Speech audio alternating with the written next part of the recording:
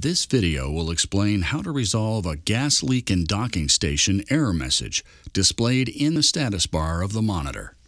This error occurs when the docking station is contaminated or when the gasket is missing or defective. First, verify that the sensor is clean and that there is no dried gel on the surface or outer membrane ring. If there is no visible contamination in the docking station or on the sensor, the gas leak may have been caused by a badly seated sensor. The sensor should fit securely in the holder on the inside of the docking station door. Reposition the sensor if needed. Then, close the door and allow the sensor to calibrate. If the gas leak continues after the calibration and leak test, continue to the next troubleshooting steps.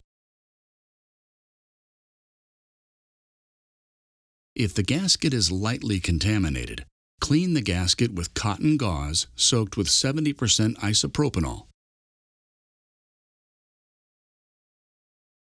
Remove any residual fibers and let dry.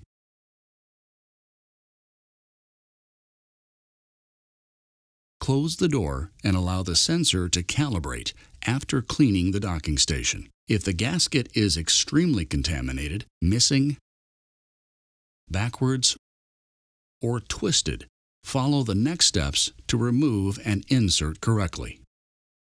The pictured materials will help with removing and replacing the O-ring gasket.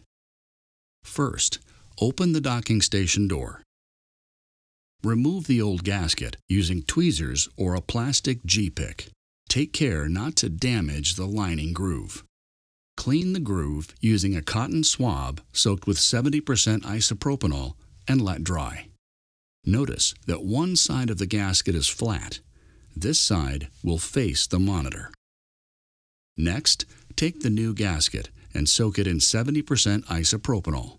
This will make insertion easier. Insert the gasket with the flat side facing towards the monitor. Press it into the lining groove with a cotton swab soaked with 70% isopropanol. Work in a circular motion so the gasket aligns correctly. Ensure that there are no remaining cotton fibers on the gasket. Once dry, close the docking station door and let the sensor calibrate. At this point, the test will finish automatically and you can walk away from the monitor. You will see the message, Leak Test in Progress. This message does not require any action. If the Ready for Use screen is displayed, the error message has been successfully resolved. If the error message persists, call your local Sentec contact.